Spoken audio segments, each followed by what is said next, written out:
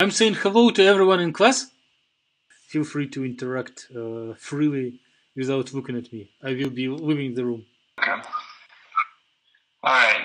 So um, this is going to be a little bit more of an interactive class period. Hopefully, a lot of um, back and forth, and um, me answering some questions, but also providing some of the um, initial groundwork for um, well, one calculating absorption spectra in VASP, um, and then secondly, uh, we'll go through and discuss um, how the electronic structure optimization fits into uh, geometric structure optimization, which you guys have um, already covered. So does that sound good with everyone? Got a thumbs up from Brendan? Okay.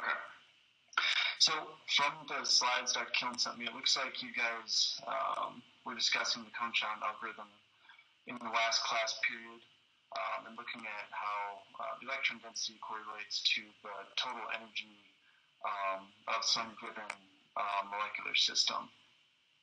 And from where that fits in, you guys are on 21 out of 30, so getting close to being finished. Yay for that. And um, you guys are also doing presentations in a couple lectures. Yeah, you are. Okay. There was a there was a centralized email to everyone um, with names telling who presents what. Please send me an email if you do not have idea what you are presenting. Okay. All right. So yeah, I guess keep that in mind for a couple weeks. And if you guys have questions on any of the topics um, that you're presenting on, we can talk about that towards the end of class uh, today as well. So just feel free to ask um, either today or just shoot me an email if you have questions. Um, okay. Well then, I guess the first thing uh, that we'll jump into is calculation of um, absorption spectrum of a given system. And so uh, to begin with where the spectrum comes from, um, take a look at, at what parts are all involved in calculating um, an absorption coefficient. So here uh, we're looking mainly um, at this Dij, the transition dipole element, uh, for a given transition between two specified electronic orbitals. And so you guys had um, looked at um, the generation of electron, uh, the Kohn-Sham orbitals um, in terms of total energy. Um, but one of the important things to keep in or take into consideration about dipoles is the basic idea it can absorb a photon coming in um, and allow for this electronic transition to happen from an occupied orbital to an unoccupied orbital. So, um, given that if um, transition dipole uh, is not equal to zero, there's some probability of a transition occurring uh, between those two electronic states. Um, but the second condition uh, needed for this is also that the energy difference between the two electronic states must be more or less equivalent to uh, the energy of the photon, this h nu, uh, that's going to be hitting the material. And so um, I got to click up here. Okay. And so um, the first thing, once you uh, finish some type of optimization calculation in VASP, um, is to build what we call um, a file that's named OS strength. So um, the oscillator strength itself, um, if you look on the middle of the right hand side of the slide, um, there's an FIJOS uh, term, so that's the oscillator strength, um, and it's uh, uh, relative to the square of the transition dipole moment uh, for a set or for a given set of two electronic states, and then a number of constants that also go along with it. And so this oscillator strength file um, that we're generating um, is going to have a number of different components listed in it. The first things that will be listed are uh, the initial orbital indice I, uh, the second column will be the final orbital indice J, um, and then it's, it's sorted by the third column, which will be oscillator strength. And so uh, the way that the, the script will uh, put this out is in terms of that oscillator strength, so that the highest, uh, most probable transitions are listed first, and then you'll see the energy of transition or the orbital energy difference in the next column, and then followed by um, the uh, directional uh, axis coordinates of x, y, and z for the transition. Um, and so once we have this, this file generated, uh, it can then be plugged into uh, the equation, um, which is done by a spectrum script um, and produces the absorption spectrum. So that's, I mean, that's kind of a brief overview on where um, and and why the absorption spectrum can be produced. Do you guys have any questions on this so far, or this?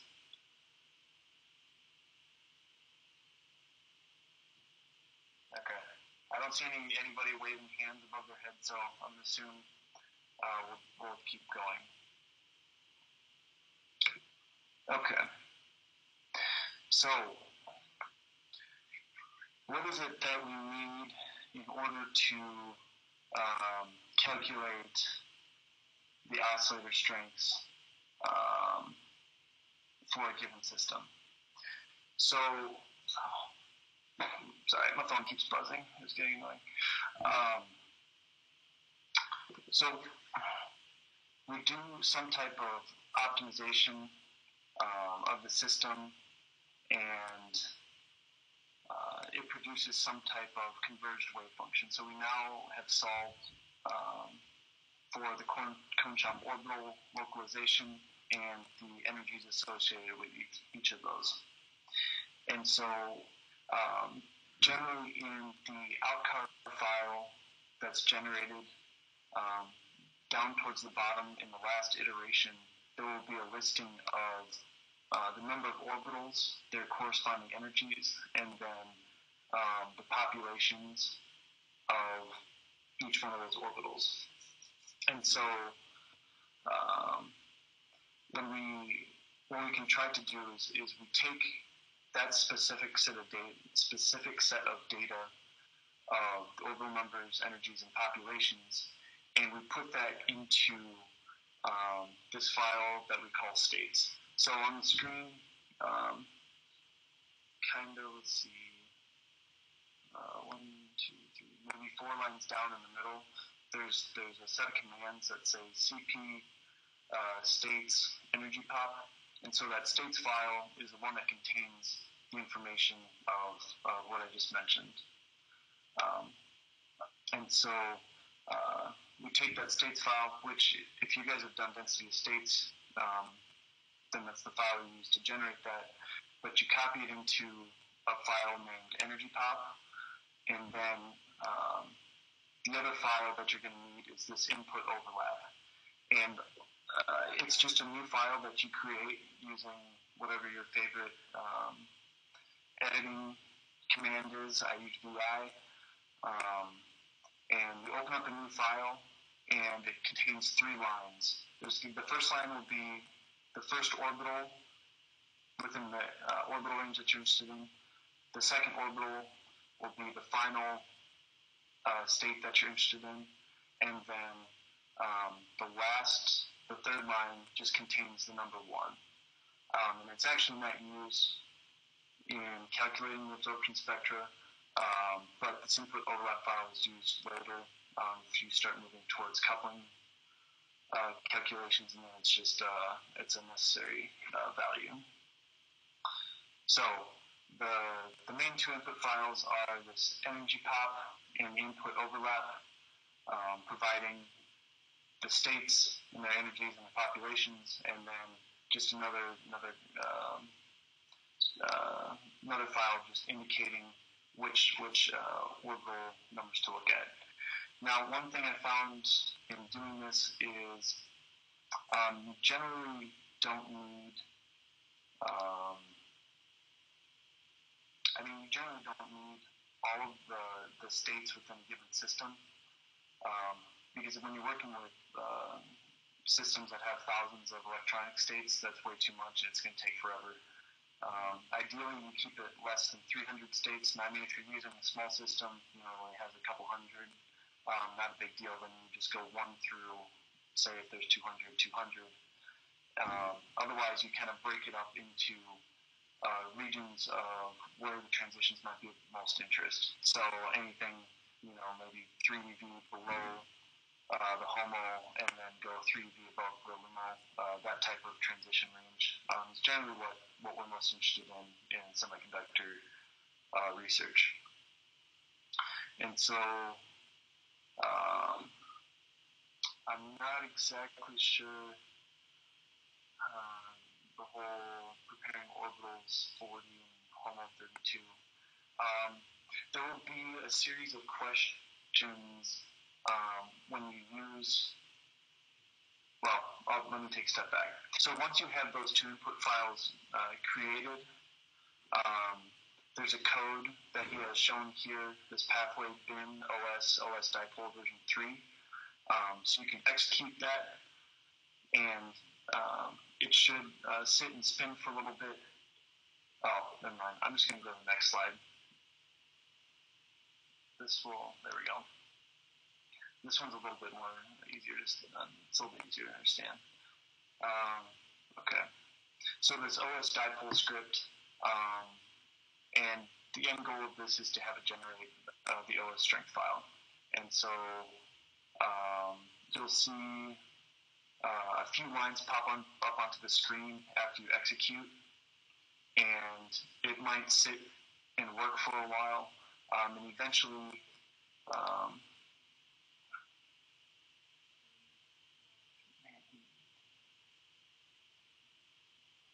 um, eventually will come up and say uh, mission complete, um, OS uh, uh, OS strength file created. Um, and so where am I at on here?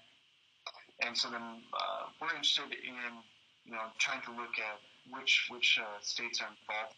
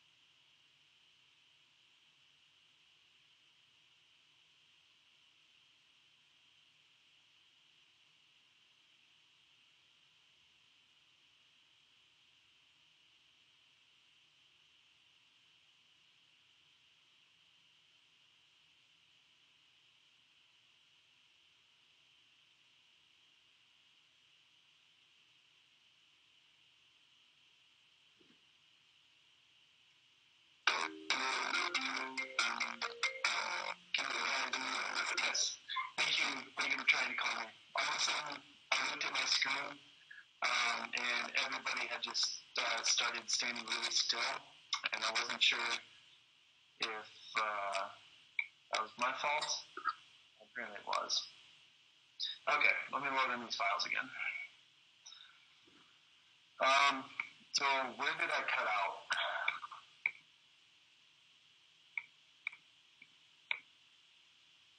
Is this kind of where we Okay.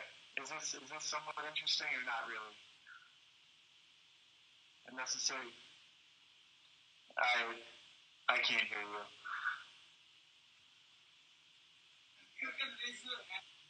Oh. I okay. I still can't hear you. Um, I, you guys kind of cut in and out. Okay, so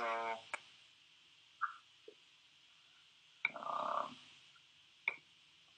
All right, so we'll just. Well, are there any questions on uh, OS strength file generation? No. Okay. Fair enough. So, um, also, how long does this class go? Goes until 105? 2? It goes until 2. 150? Are you sending me an email?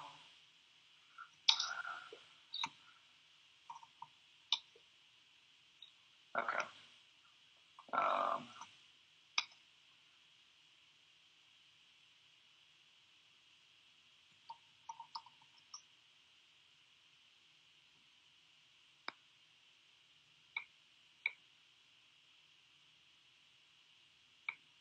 okay.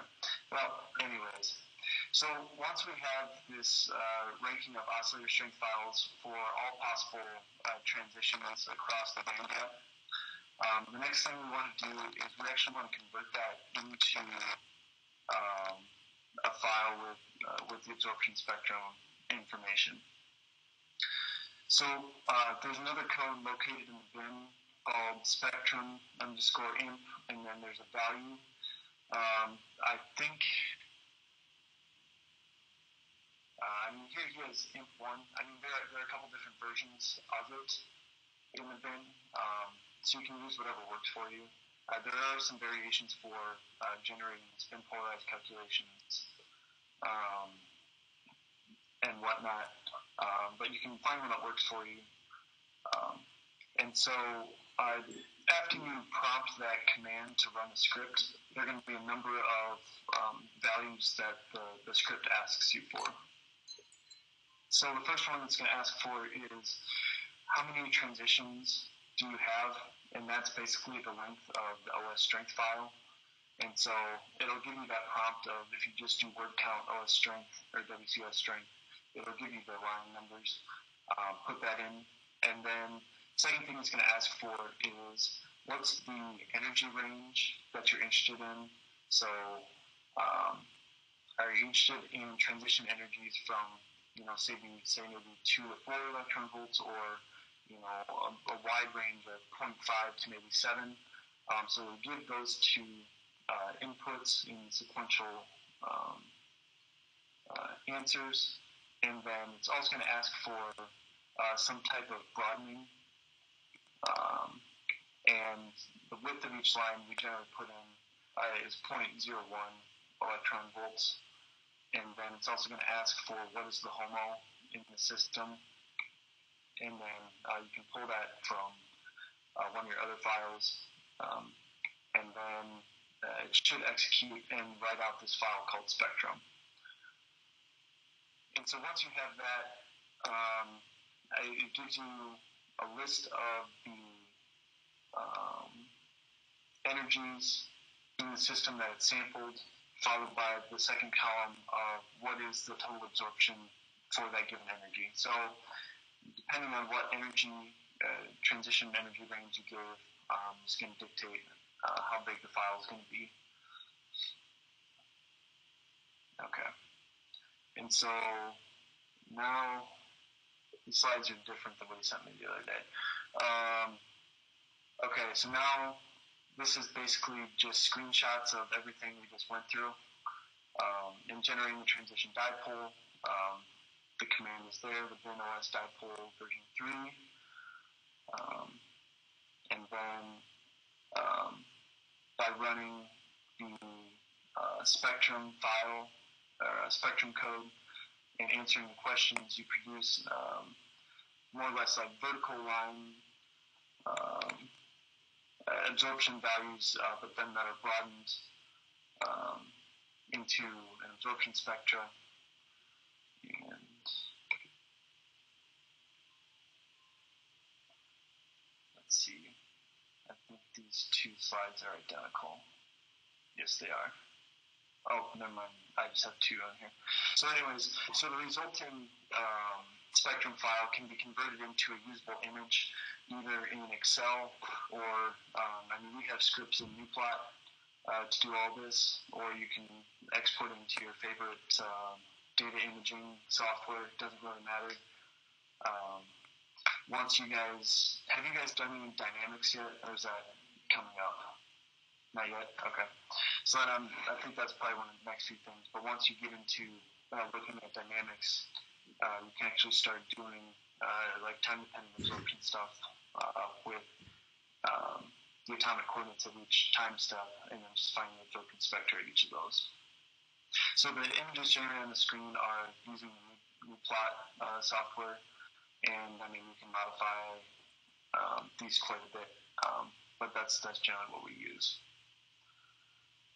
Okay, are there any questions on generation of absorption spectrum? Or we just want to get done with class relatively soon, go to lunch early? Okay.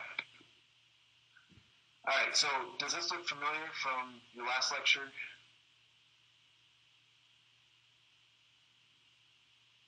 More or less looking at the um, uh, Kohn-Sham theorem. Okay. So when uh, I'll go to the screen, it's clear. Um, right. So when when we're considering the atomic positions of these nuclei um, and how they're arranged, each one of them comes with uh, a different number of electrons and initial electronic structure given its location on the periodic table. And so um, this can also be affected by uh, you know interatomic distances between different types of atoms forming bonds um, and that type of thing. So you're going to get this uh, density distribution of the electrons, which then uh, is used in the total energy of the system. And so I'm not going to necessarily rehash all of this, but um, this idea that um, we can take um, we can take the locations of the electrons and use it in um, easier method to try and calculate the total energy is something that's very valuable. Okay. So um, one of the ways that Dr. Cohen, um, at least this is this is what I learned from him when um, I took a computational course, is he used lots of flowcharts and so, um, given here are the way that he has his flowcharts outlined, I'm not going to sit and, and, go through that. But if you guys are curious later on looking at it, um, uh, you can have that. Okay, so you guys looked at the Kohn-Sham algorithm last time, um, and now how does it fit into uh, something that you guys looked at in I don't know, it probably been within the first month or two of geometry optimization. So this idea that um, electronic structure uh, is is primarily based on, on three things. So in the input box up top, um, the very top left one, we have Ri, which is, oh, this one's clear. All right, we have the positions of ions initially. So, uh, and you can do this at any given time step, but we're looking at frozen geometric coordinates of atomic nuclei, um, and then the total number of electrons in a given system. And then the third thing we need is this convergence limit. So, how long are we going to run this um, this algorithm? Are we just going to let it spin into eternity, or is there some something that we say, okay, this is reasonable?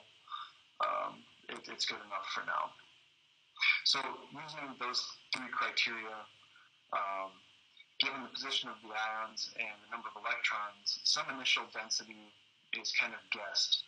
And so that's the, when it says density though, it's just an initial guess of the density uh, because we don't always know the exact geometry or optimal geometry for a given system. We're just kind of guessing relative positions. And so um, with this initial density, um, it can be put into uh, this Kohn-Sham algorithm that you guys went through, right? So we look at the potential and how the total energy, which is dependent on density, changes um, with respect to density itself. And these potentials, sorry, so these potentials um, are used in the one electron uh, equations or the eigenvalue equations are shown in the second box. So looking at the kinetic and potential portions acting on some um, orbital produces its energy. And the total overall density um, is a summation of the wave function probabilities for all states. Sorry, this is getting really annoying. I haven't had this many phone calls in the span of like five minutes, probably in like four weeks. Um, okay, so we're looking at the um, total density is the summation of all uh, electron probability, right? So the summation of each individual Kohn-Sham orbital. Um, and so when we're looking at what he has labeled here, theta i, um, this initial probability is, is what's going to correlate to uh, some type of partial charge density, right? You think of probability as just the square of the wave function. And so through this cycle, um, we get to some type of criteria where from our initial guess of the density we produced an energy, um, but now through this iteration, um, we look at uh, a new energy that gets calculated.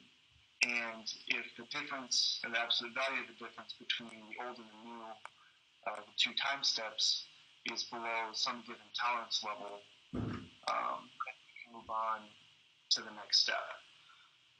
Um, and it produces the output of saying, here, this is this is what we were looking for. Um, we've reached um, in uh, the minimal energy given by the parameters. Now, if that's not the case, um, what's going to happen is we're going to get a shift in um, the ionic coordinates, and then the density will shift accordingly, and then it'll go back through that same cycle in calculating uh, the total energy on the new relocalized density.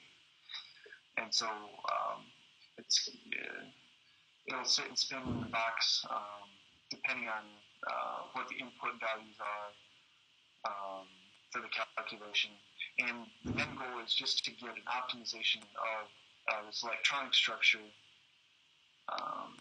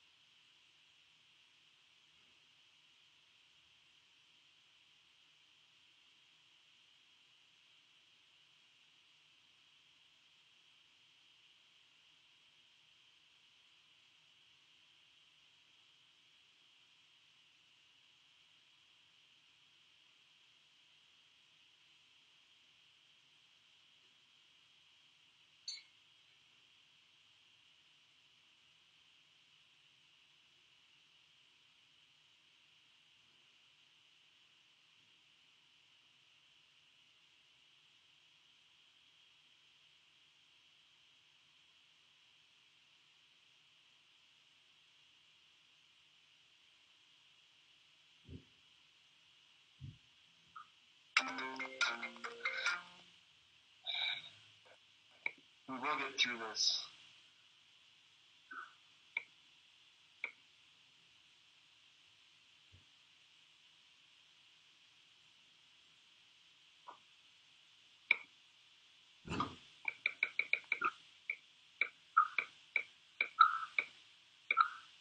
Okay. When when did I cut out? Back one? Seriously? That's what I cut.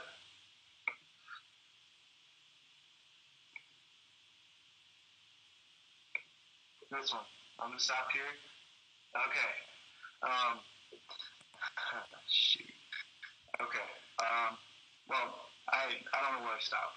Where like, do you guys have any? Do you have any initial questions on on what this means or how this gets implemented in VASP? You have no questions. Do you understand what it means? Kind of. okay. So. Um, so I guess if you're ever going to look into the OUTCAR file, um, you're going to, or even if you open up the OSZICAR file, you're going to see that there's a number of iterations um, and then printouts of total energy uh, at some given time step. And so different um, different steps require a different number of calculation steps in between them, given how far off of the convergence criteria they are um, or how, how far off the, um, the geometry might be. So we could have, um, uh, if we did like a one-step self-convergence uh, calculation, like an SCF, um, you know, that, that might take 20, 30 steps, or it might take six or seven uh, recalculations of uh, the electronic structure itself uh, without um, without changing the, the, the, positions of the nuclei. Um, but one, if we do some type of geometry optimization, you'll see an initial energy. It might run for 10, 15 steps. You'll see an energy. It might run, uh, you know, it might be another eight, nine lines before the second iteration, and so on. And um, you do this electronic calculation, trying to converge the energy. Um, and once you hit your limit, okay, you move to um,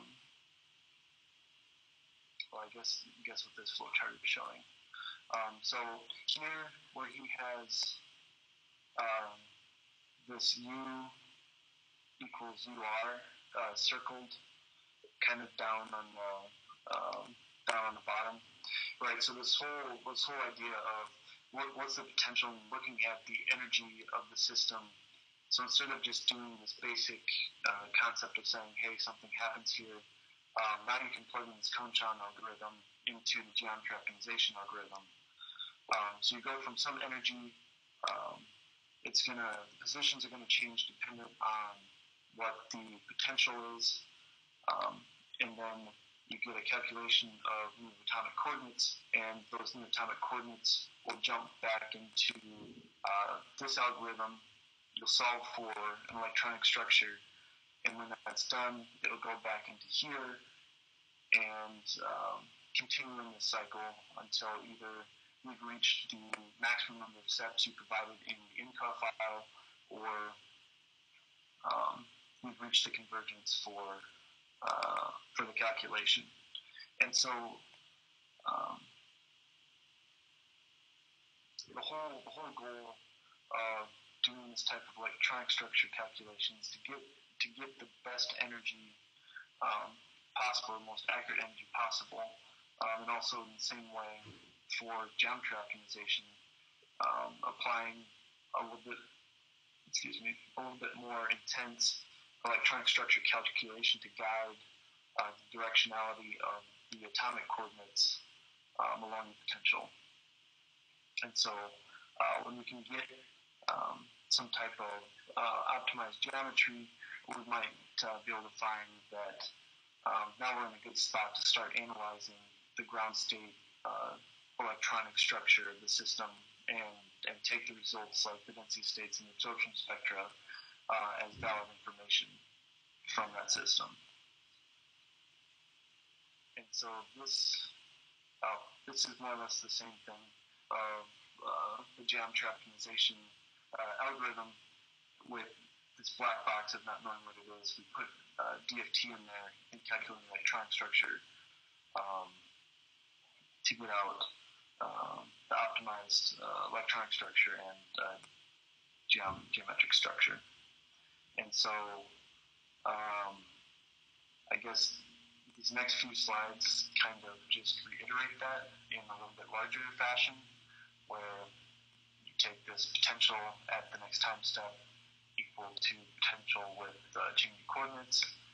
And then now you have your DFT uh, algorithm in there, um, like we had. So that's kind of, um, I mean, that, that's more or less what what um, the implementation of DMT, DFT into a geometry optimization looks like. Um, so there's there's more or less two things where one is um, the overall goal is to refine the geometric structure of the system, um, but in doing so, you need to um, try you need to optimize the electronic structure at each one of those um, coordinate positions to try and guide the coordinates to the uh, to the lowest energy to try and find the bottom of that potential. And so, at this point, um, do you guys have questions on um, any of this, or uh, are you guys running into problems and trying to calculate certain things in VASP, or just do you have general life questions that maybe I can answer? We can have a fireside chat with Jon.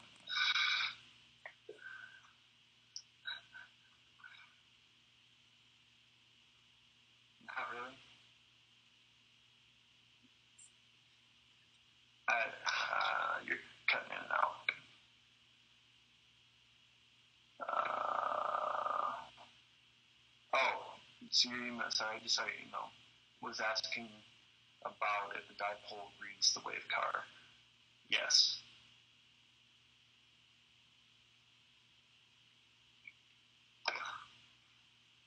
Um, are there any other questions?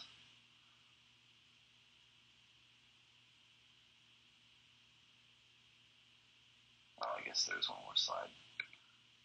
Um, so, would, uh, would you agree that you this is what you've achieved today?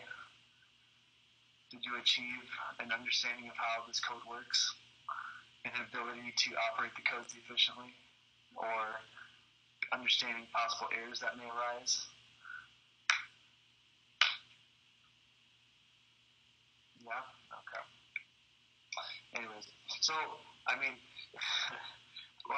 guys understand this, is great.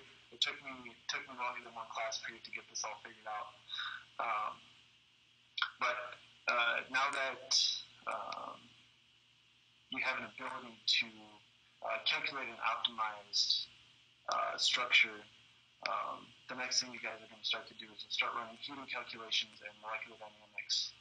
Um, and the ability to um, understand how forces uh, are interacting between uh, different ions, different atoms, um, allows for uh, the study of, of things like uh, that I do, nonadiabatic dynamics, or uh, chemical reaction types of just looking at different ways that the atoms are interacting. Um, and so, depending on uh, what type of functional you use within DFT calculation, um, will give you uh, different results just based on um, if it's a pure functional or a hybrid, uh, so like what percentage of Hartree-Fock uh, is used, um, but also the different exchange correlation uh, pieces that are used between the different functionals. Um, and I guess uh, you, guys are going to have, uh, oh, maybe that was when I took the course. Um, I don't know if you guys to have an actual developer of functionals uh, talk or not, um, but uh, that can also be uh, fairly interesting. And so, um, yeah, that, that's more or less what I got and I'm happy to sit and answer questions for you guys. Otherwise, you guys are going to do what you want. Live your life.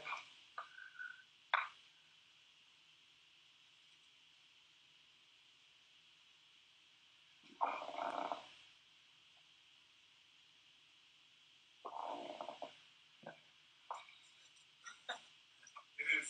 Oh, oh yeah. Uh, yeah.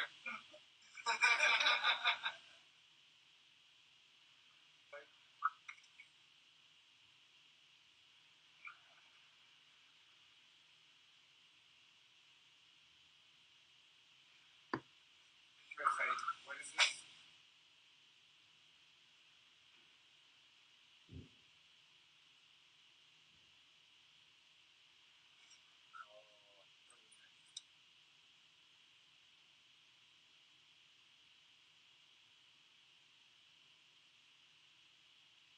I think you're good.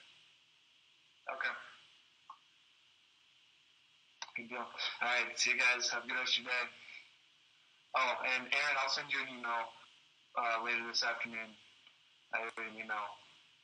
All right.